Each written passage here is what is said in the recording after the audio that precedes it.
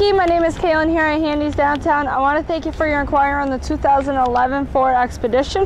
Now that you're just stuff, I'm going to talk about the vehicle. So it's inspected until February of next year. You do have the car starter that does come with it. You also have the pretty well brand new tires on here.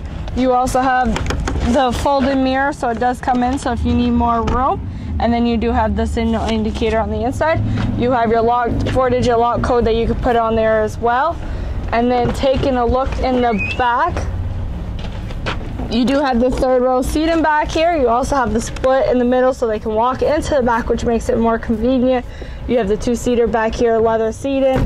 Taking a look in the front, you do have your uh, touchscreen. You also have your automatic seats and your uh, windows are also automatic. Your touchscreen will display your backup camera. You do have the sunroof. You have your traction control button there. It does also have the navigation in here. This is fully equipped. You also have your AM FM radio. You have your Bluetooth connection over there that you can do also your settings and then your voice so you can actually talk to us. So if you would like to switch the radio stations, you can say switch to 98.9. You have your cruise control on the other side. You also have your e-brake down there and then you do have the sunroof and then you do have the roof rack as well. You have the running guards down here that do fold right in too so that way it's more convenient for you and not in the way.